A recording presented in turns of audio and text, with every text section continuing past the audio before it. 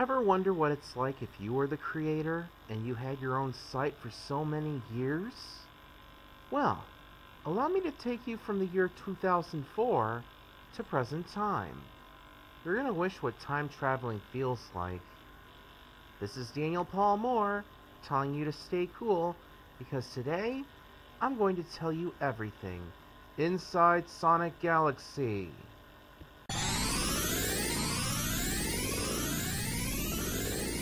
Begin!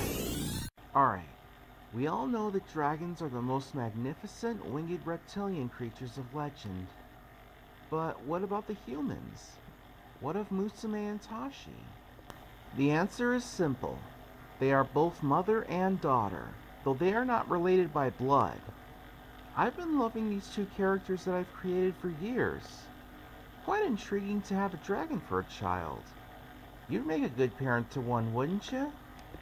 But anyways, seeing that Tashi is from the White Dragon clan, and that Musume is human, it makes me want you to know that if you have a future daughter or son, take it from them. So yeah, I think it would be great to learn from Musume and Tashi. Be it adopted or biological, even though I don't have any in real life, I think you need to be married to someone to have either one. Or both. I don't know for sure.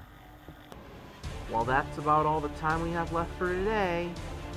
Tune in next week for another exciting new episode of Inside Sonic Galaxy for more mind-boggling things.